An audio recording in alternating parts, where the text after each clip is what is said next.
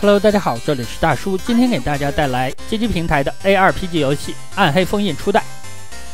我选择了法师，但玩过这款游戏的小伙伴都应该知道，这款游戏最好用的角色是吟游诗人，就是拿叉子那个货呀。但我的方向盘好像是坏了，它会自动的锁定女性角色，所以说我就只能选择了法师。法师的特色是魔法比较强力，但这款游戏的魔法系统比较特别，你需要消灭敌人才能够积攒你的魔法槽。魔法槽满了之后，左上角的魔法书翻到哪一页，你才可以施展哪个魔法。我用了一个问号的魔法，这个魔法呢有两种情况，有可能变成猪，也有可能变成宝箱。变成宝箱的话呢，就会突出大量的道具。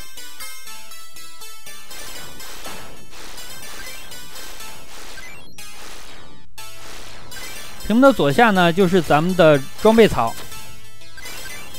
一共有六个道具。鞋子是增加移动力，手套是增加攻击力，铠甲是增加你的物理防御力，另外还有戒指，防止冰冷攻击；项链防止火焰攻击；护符是防止异常状态。其中鞋子还有手套是一个现实的道具。咱们捡到之后，再次捡相同的道具，它是不增加持续时间的。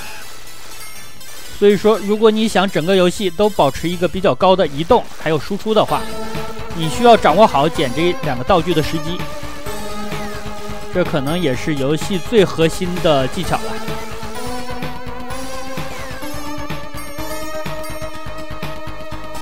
这种能量水晶是给咱们回血的。好的，捡到手套之后呢，打 BOSS。这里就是第一关，咱们的目标呢是退至古代之塔上的飞龙，也就是本关的 BOSS。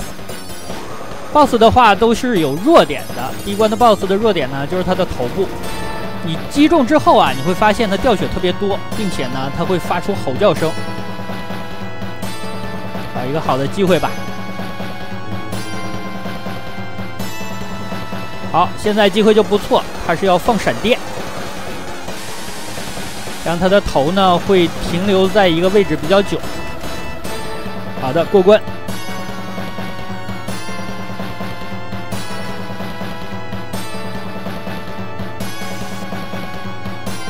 过关之后可以发现一个黑骑士抓走了一个弓箭手。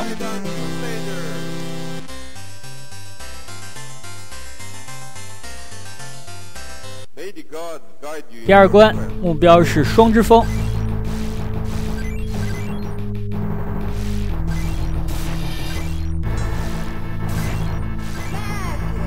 这款游戏的剧情呢是邪恶的沃洛夫率领黑骑士团，想要开启末日之门，这样伊特鲁利亚国王就召集了勇者。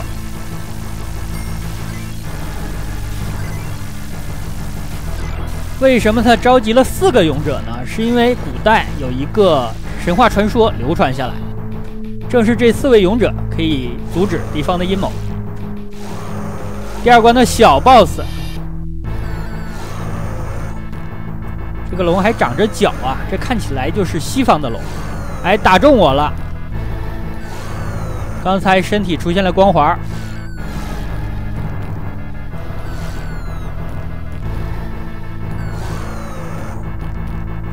这个龙的弱点也是头部。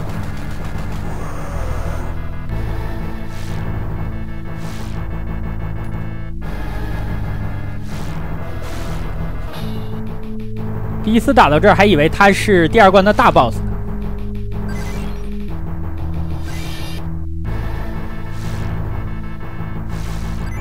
这款游戏要稳一点，不要着急。我放了一个石魔法，这样变成了石头，给大家演示魔法的机会不会太多呀。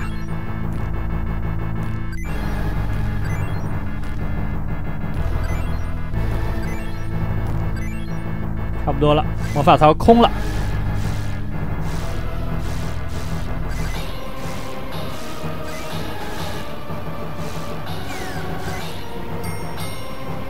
好的，捡到了护符，这样的话防止异常状态。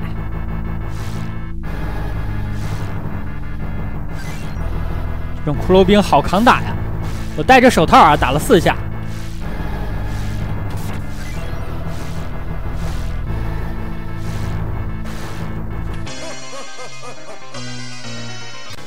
BOSS 战，这个 BOSS 超级恶心啊！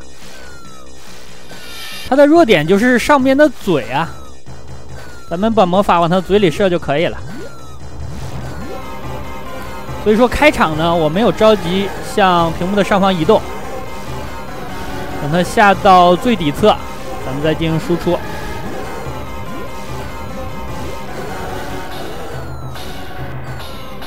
我又挨打了一下。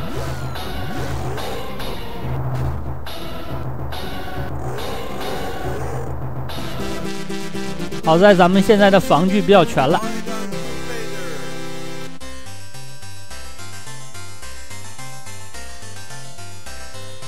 第三关，第三关呢？国王说他的女儿，也就是公主，跑出去了，这样咱们要去把她找回来。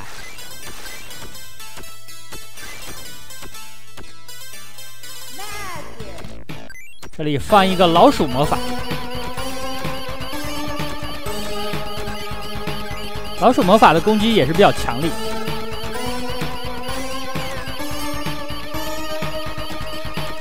哇，那个王冠打出那么远，捡不到了。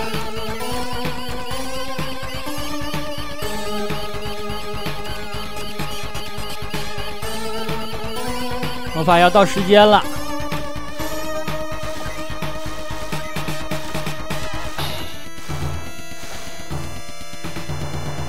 这款游戏的视角不是很好掌握，因为大部分时间呢它是倾斜的。有的时候你感觉敌人打到你了，但是没打到；有的时候你感觉打不到，但是他竟然打到了。这样的视角呢，街机上还有一款叫做《光明力量》，那款的素质比较不错。这里是一个小 boss，这个小 boss 啊，如果在上一关我没给大家演示老鼠魔法的话。在这里使用闪电魔法会快速的干掉他，但也没关系啊，咱们可以通过这个场景进行卡位，在这打他也可以。他回头之后呢，在这突到你。好的，打完，这算是一个逃课的打法吧。但如果有雷电魔法的话呢，逃课会逃得更厉害一点。这关的场景还算比较多，流程比较长。游戏一共才五关啊！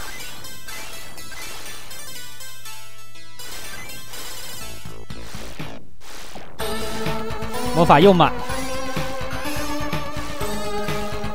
这个场景呢会有一个手套的补给，但咱们现在手套呢没有过期，咱们可以等它过期之后回头再来捡。然后最后一关再捡一个手套，这样基本上全程都是有手套的状态。哇，这个货跑得好快呀！我下意识的躲了一下，没想到躲开了。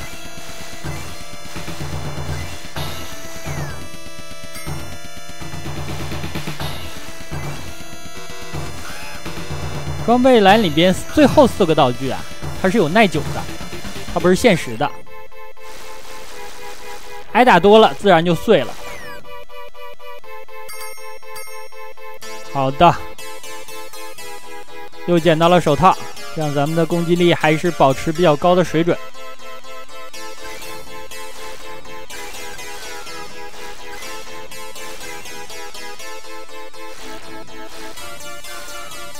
刚刚下蛋那个货好像是鸡蛇兽啊！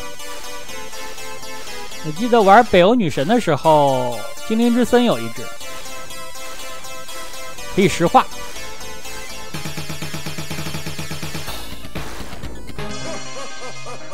BOSS 战了啊！这里黑骑士沃洛夫表示，把公主抓走了。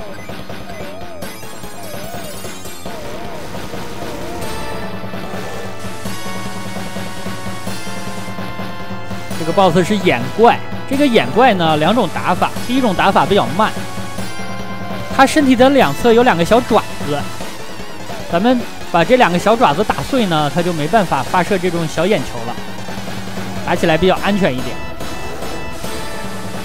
还有一种打法呢，就是我现在的打法，快速攻略，因为它每次放闪电之后呢，都会眨眼一次，眨眼之后再睁开，就是咱们打它的最好时机。这样打起来比较快，但是这个眼球怪的闪电打人是相当疼的，还是要小心一点。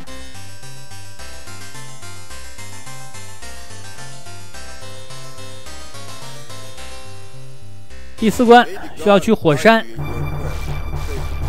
咱们要找回两个宝物。一个是神之宝玉，一个是神圣皇冠。其实沃洛夫呢也需要这两个宝物来开启末日之门。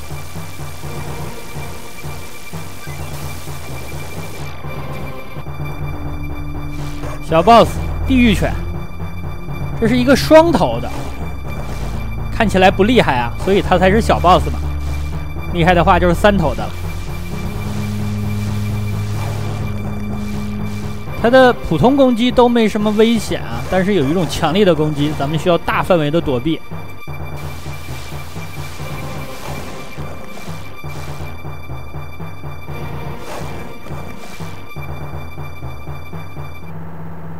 就是这种跑出来的时候呢，它是一个蛇形走位啊，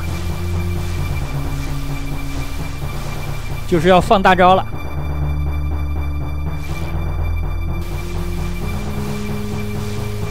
出的火是蓝色的，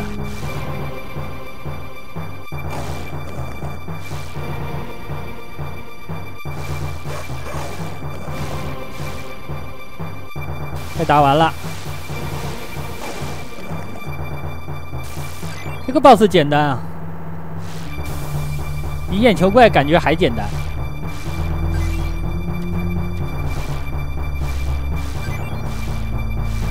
这种岩浆地形呢，咱们如果放火焰魔法的话，直接能过去。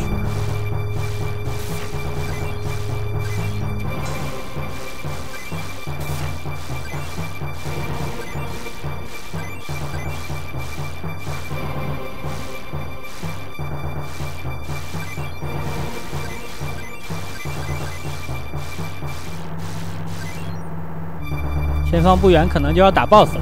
下边呢有一个分支。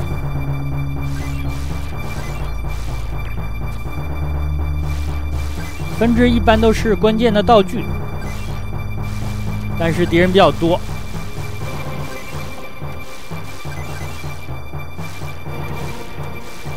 前面两个牛头人，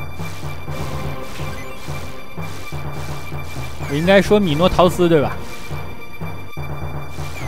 这个怪好像有喜欢的呀，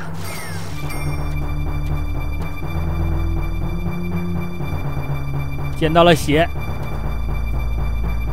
这个鞋基本上能用到最后了。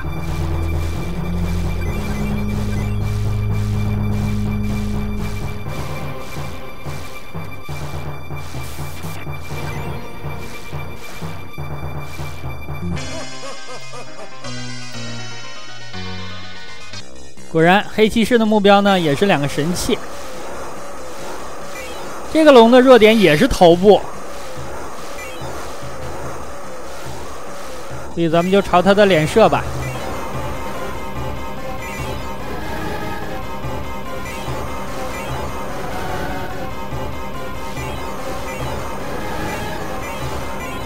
但是他头部被攻击之后呢，就容易发出这种爆炸。这里咱们又挨打了一次。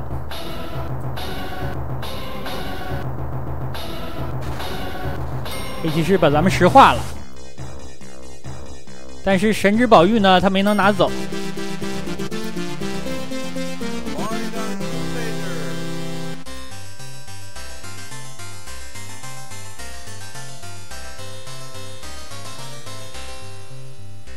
让第五关魔界之门，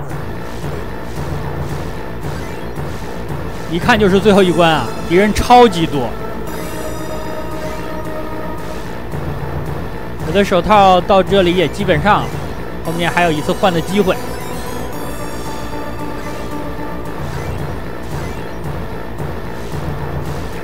前面的 BOSS 都一般，但这款游戏到这儿之后呢，这个 BOSS 就比较难了。我被砍了两刀啊，衣服碎了，血也掉了两滴。好的，又捡了一个盔甲，然后血量也加满，魔法也加满。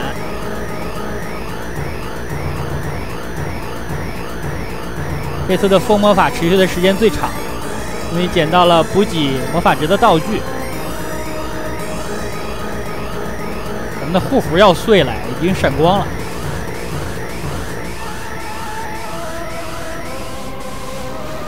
盔甲挨打了一下，没关系啊，冲进来了。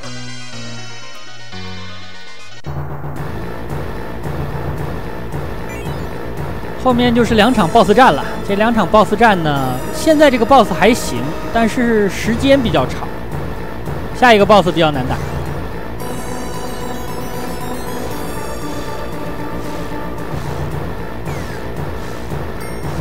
这里就是道具比较多，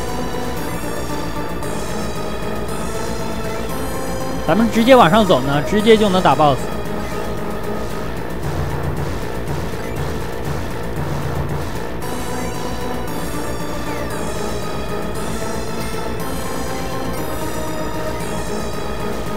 所有道具在这儿都能捡到。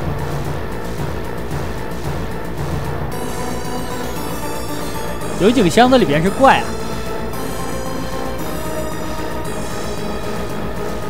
手套碎了，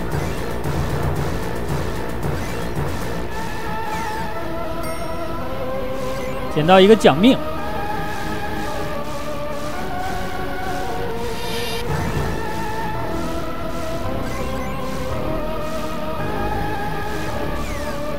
好的，这里边手套，这个手套呢，就是打最后这两个 BOSS 用了。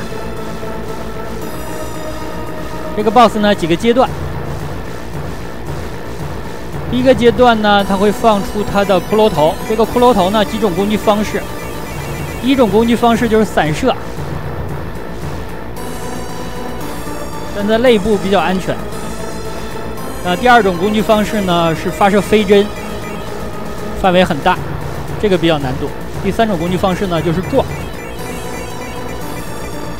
循环往复。但是 BOSS 血量少了之后呢，它的本体也会移动。挨打了，幸亏这个铠甲是新的，咱们已经碎了一个了。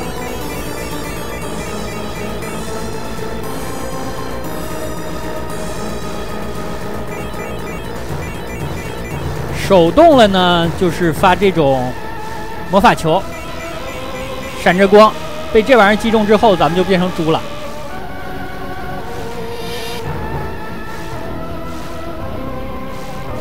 游戏当中为数不多的变猪方式啊，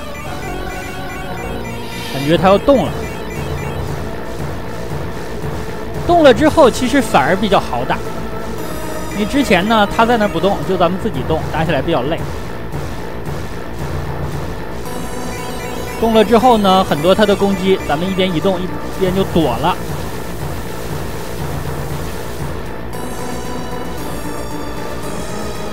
血量不多了。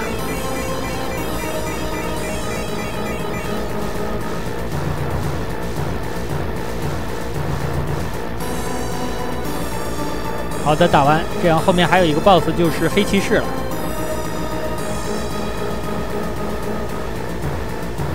黑骑士是想要用两个神器，加上五个人来进行祭祀，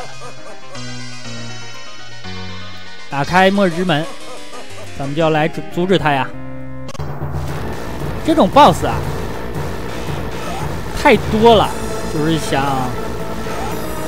建立什么黑暗世界，动机啊无聊的要命啊，非常中二。但是黑骑士的实力很强。他最难对付的攻击方式啊，就是这个旋风，范围非常大呀，哎，砍中我一剑，特别恶心。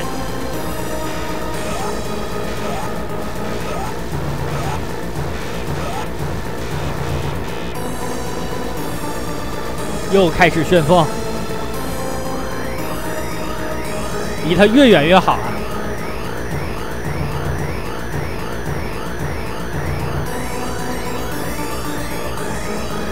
刚才已经被砍中一剑了，要放电，放电的时候呢，也离他远一点。把他站的呢有一定的角度，因为闪电啊，它是向八个方向发射的，而且打人超级疼。这就是走上来想硬砍你啊！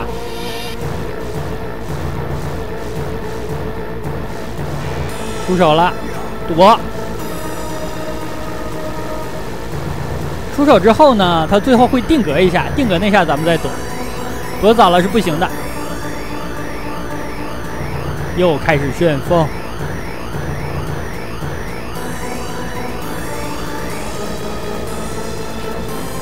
放电，